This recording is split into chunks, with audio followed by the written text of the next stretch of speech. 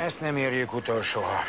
Hétfőnként emelik az árakat, és jó, ha ma elkészülünk. Én azt hallottam, hogy külföldön nem az árura rakják az árakat, hanem minden pultnál és árucikknél van egy tábla, azt le lehet olvasni, és tovább nincs vele gond.